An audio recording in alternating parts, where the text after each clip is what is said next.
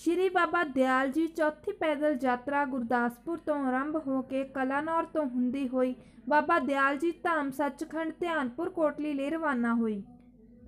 ਗੁਰਦਾਸਪੁਰ ਤੋਂ live Punjab news ਦੀ ਵਿਸ਼ੇਸ਼ report.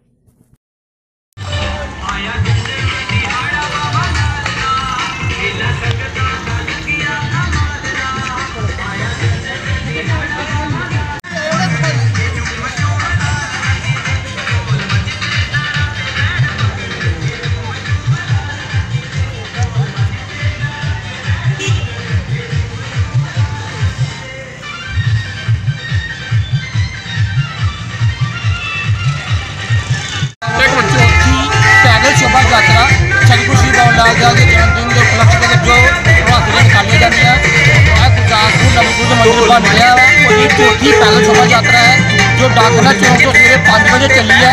ਉਹ ਕਲਾਨੌਰ ਤੋਂ ਹੁੰਦੇ ਹੋਏ ਧਿਆਨਪੁਰ ਤੱਕ ਪਹੁੰਚੇਗੀ ਮਹਾਰਾਜ ਦੇ ਆਸ਼ੀਰਵਾਦ ਦੇ ਨਾਲ। ਇਹ ਯਾਤਰਾ ਜਿਹੜੀ ਹੈ, ਆਪ ਸਭ ਦੇ ਸਹਿਯੋਗ ਦੇ ਨਾਲ, ਨਗਰ ਵਾਸੀਆਂ ਦੇ ਸਹਿਯੋਗ ਦੇ ਨਾਲ ਔਰ ਸਾਰੇ ਸੇਵਕਾਂ ਦੀ ਸਾਂਝੀ ਪੈਦਲ ਸ਼ੋਭਾ ਯਾਤਰਾ, ਜੋ ਸਾਰਿਆਂ ਦੇ ਸਹਿਯੋਗ ਦੇ ਨਾਲ ਆਸ਼ੀਰਵਾਦ ਦੇ ਨਾਲ ਚੌਥੀ ਵਾਰੀ ਪੈਦਲ ਜਾ।